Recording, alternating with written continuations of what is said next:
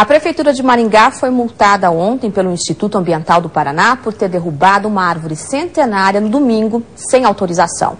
Manifestantes tentaram impedir o corte da árvore. Além da multa, o IAP também estuda outras medidas para compensar o dano ambiental. Os fiscais chegaram à Prefeitura no início da tarde de ontem. Como o prefeito está viajando, eles foram recebidos pelo chefe de gabinete. De acordo com o engenheiro florestal do IAP, a canafístula é uma árvore nativa da região e deveria ter uma autorização específica para o corte. Representando o pessoal do IAP estavam o pessoal da Polícia Ambiental, né, a Força Verde, e eles pediram para não cortar as árvores. E, e ocorreu o contrário. Na autuação, foi aplicada uma multa de 7 mil reais. A obra não tem condição de tocar sem que essas árvores fossem retiradas, então nós acreditamos que com a defesa do município tudo vai ser esclarecido e a obra vai tocar normalmente. Tem que repor né, o, o dano é, da mesma forma que foi é, feito o, o mal aí contra a natureza.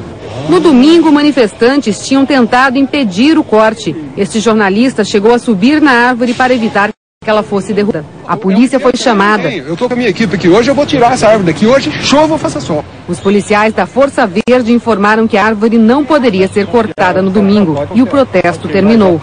Foi solicitado responsável no local aqui que não faça o corte hoje e que consiga primeiro a autorização para o corte.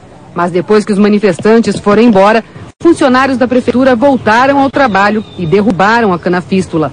Além da multa, toda a parte ambiental da obra foi embargada. Ou seja, toda essa madeira que está aqui não pode ser retirada do local sem autorização do IAP. O diretor de serviços públicos tentou negociar a retirada da árvore do local, mas não conseguiu. Só levo se puder tirar a madeira de lá. Segura. Nós não vou falar disso.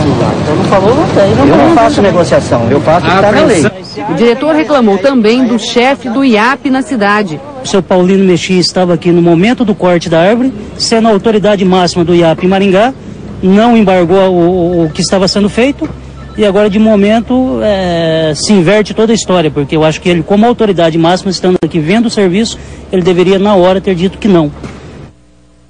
A nossa produção tentou falar com o chefe do IAP de Maringá, mas ele não estava na cidade.